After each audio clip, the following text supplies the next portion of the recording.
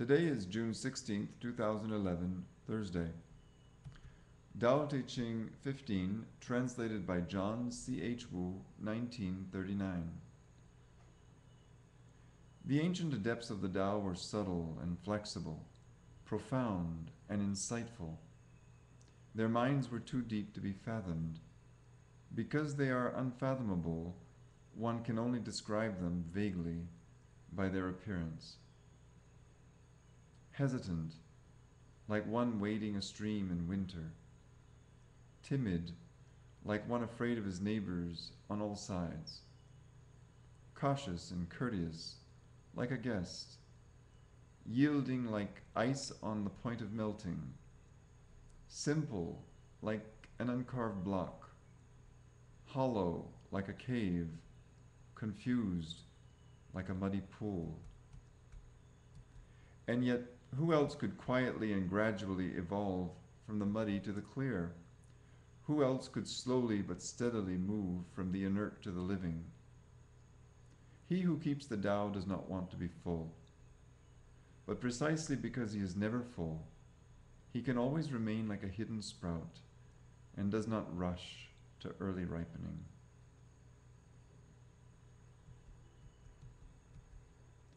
Tao Te Ching 15, translated by Aalar Fex, 2006.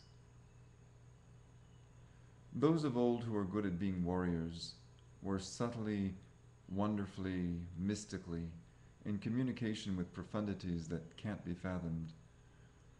Precisely because they can't be fathomed is the reason one is forced to take them by appearances. Cautious, as if in winter crossing a stream, strategizing as if they feared their own four neighbors, dignified, they seemed forgiving, scattered like ice floes about to break apart. Honest, they seemed plain and simple. Free from worries and petty ideas, they seemed as open as a valley.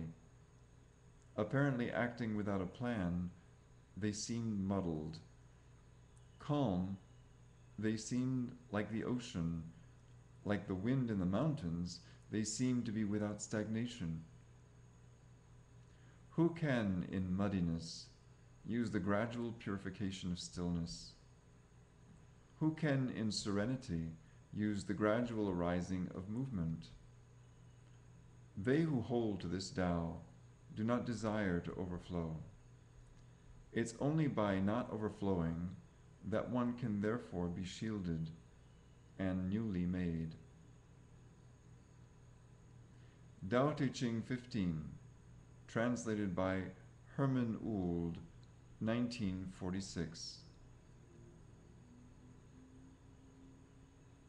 The wise men of old were skilled in the mysteries. Their minds were subtle and penetrating, and so profound that they were scarcely to be understood. Trying to understand them, this is the picture I call up. They were cautious, like those who cross a river in winter. They were reserved, like those who are suspicious of their fellows.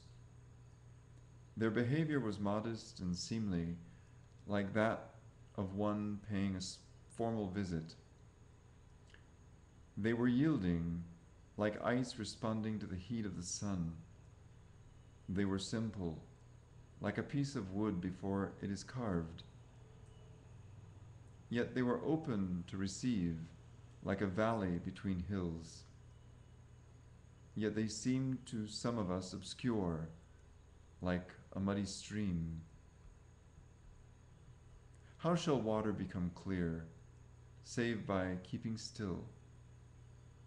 It is by the still and the motionless that life is quickened.